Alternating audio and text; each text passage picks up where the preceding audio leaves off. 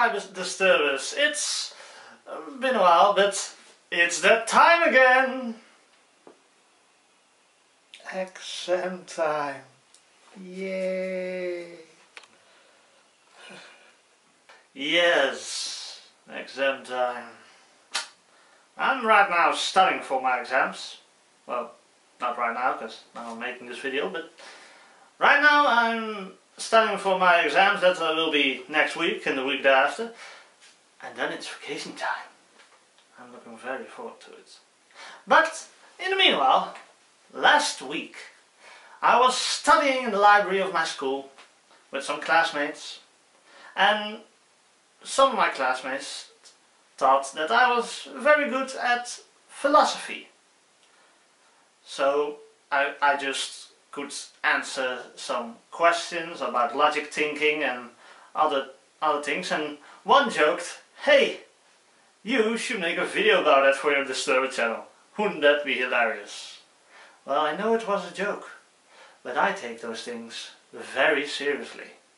So welcome to Philosophy with the Disturber, where I will tell you how to get a philosophical brain, or just how to think like you have to do in philosophy to get through your exam, hopefully.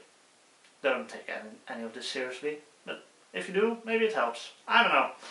But let's talk about how I did get good at philosophical thinking. You know when you, most people are thinking most philosophical? About most of the going philosophical debates that you have with friends.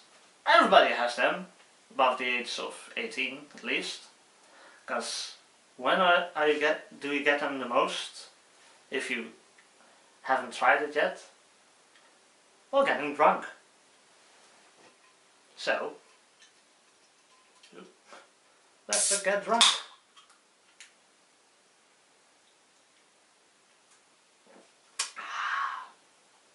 I'm not sponsored by Amigo. It's just nice beer. Yeah.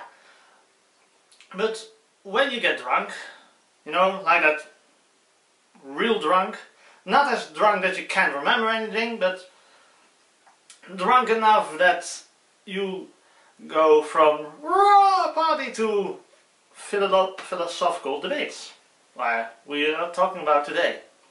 Because then you're gonna talk about something and then half of your friends think this, other half of your friends think that. I have uh, with my friends about my migration problems and all those sort of things that are in politics and also sort of random what, what is good, what is bad, philosophical thinking. So if you really want to try that, get drunk. Or high, if that's legal in your country.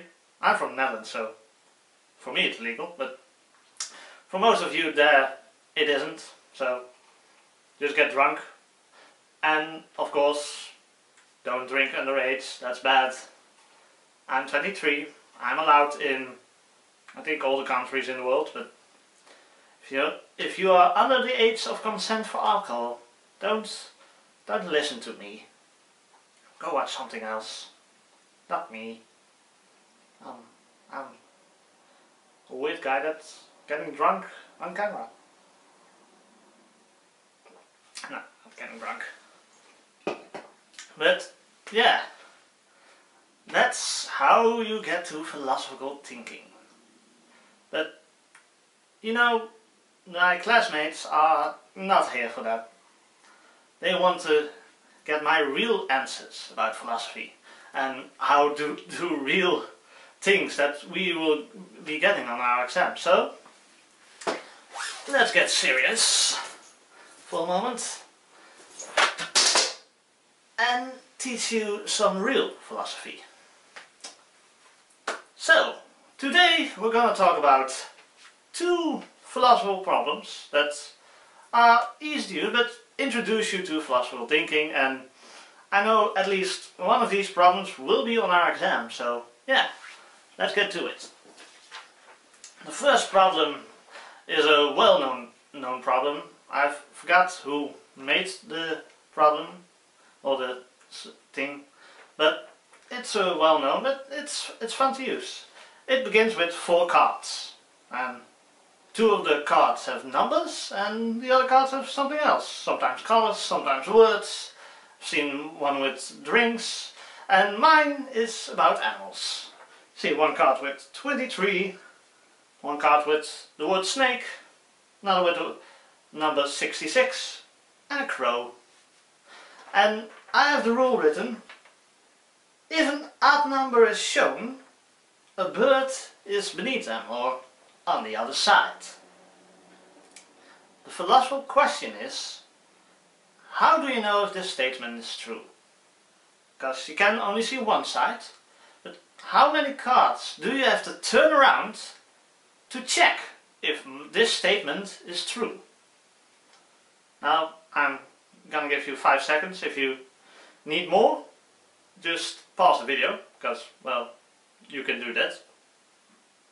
So, pause the video, think about it, and if you have a number, it must be between 0 or 4, 0, 1, 2, 3 or 4, not anymore, because then you get another card from I don't know where. But, yeah, pause the video, think about it, and then I'll give you the answer.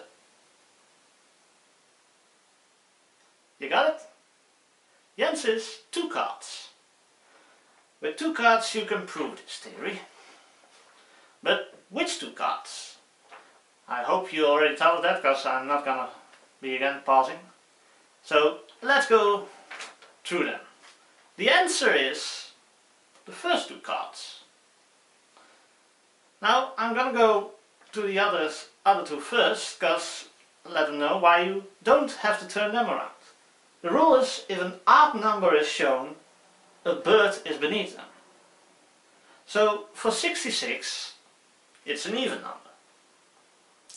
So some of you might think, so there cannot be a bird underneath them. But that's not what the rule said. It only says if an odd number is, there has to be a bird underneath them. An even number, nothing is said about it. An even number can have any animal underneath it. It can also be a bird It says nowhere that it can be a bird. So only says that if it's an odd number, it has to be a bird. But an even number can have anything. So turning around that card is useless. Now, the crow, that's a bird. Some might think, oh, that one has to have an odd number underneath it. But that's not true. Like I just said, an even number can also have a bird underneath it. So this can ha have an un an odd number or an even number. That, that doesn't matter. So that one not either. Now let's go to the other two, the right answers. 23 is an odd number and as things suggest 23 has to have a bird under it. If this card doesn't have a bird under it this theory is disproven and isn't true. So you have to check this one. But you also have to check out the snake. Why, you might think? Because uh, any number cannot. No! Uh, it, there can be an odd number underneath this one. A bird can have any number. But a snake, or any other creature that's not a bird, can only have even numbers underneath it. So you have to check if this is an even number. These two can have anything underneath them. These two have specific ones that's underneath them. And that's, that's why these two are the answer. This one has to have an even number underneath it. This one has to have a bird underneath it. And that's the answer to problem number one. So yeah, I hope that makes sense to you. Maybe it even helped you understand this more. So yeah, let's go to number two. I call this a pottery exercise.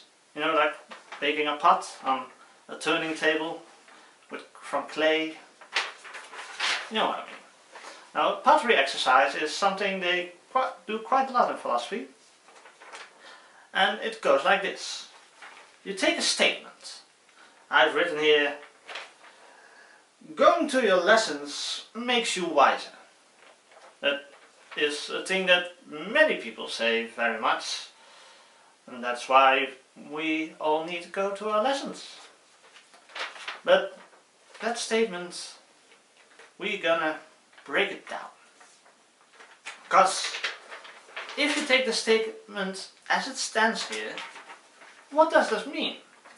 It means if you go to your lessons, you get wiser automatically. And that's not true. That's simply not true. You don't go to your lessons and, I'm wise now. No, that doesn't happen. So, you're gonna break it down and gonna write down the exceptions on that rule. Like, if you don't pay attention in lessons, you don't get any wiser because you're not paying attention to what's given, so yeah, you're just sitting there.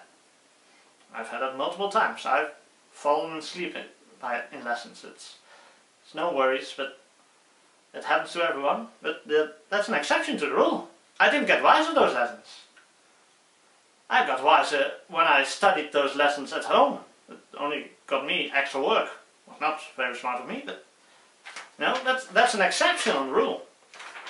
So, to make a true statement, because that's what we try to do with the pottery exercise, we try to make it watertight, no, like a piece of pottery, we get those exceptions out of there. Get all the plot holes and all the things that don't fit right out of there. So and it, paying attention while going to your lessons makes you wiser. Now that's a much more true statement. Probably isn't the correct statement still, because there are many exceptions still on this one. But that's the pottery exercise. You have to make a new statement, what, which I just did, and then go find exceptions of that one. And then make a new statement out of it. And then make exceptions again, and make a new statement out of it. And again, and again, and again, till you have a statement that has no exceptions. Very rare that that eventually happens, but in our exams we only have to have to do this once or twice just to let them see you can do this. So classmates, this is the one that's going to be on the exam. Yes, the pottery exercise. That's going to be on the exam. So yeah, you do it again and again, just make a statement more true. That's what I wish a lot more politicians and other people in the media would do, because that's a thing that they don't really now, do they? But yeah, those were two, two exercises. One is for sure going on the exam, the other maybe, and others it's just more logic thinking that you need to learn to understand philosophy. So yeah, uh, I hope this helped you, classmates, and maybe other people on the internet that found this video. I hope it helped you. I just made this as a joke, but I thought, well, let's get serious and actually try to teach you something. If you want more of this, exercises in philosophy, or maybe something others, maybe I, I can teach other things. Let's get this a whole new section on my channel, who knows uh, write down in the comments and like, subscribe and do all that other crazy wacky shit. So uh, yeah, thanks for watching and uh, in a few weeks it's vacation and then I finally can make much bigger videos starting with reviews again. Yes. So, till next time my disturbers. Bye.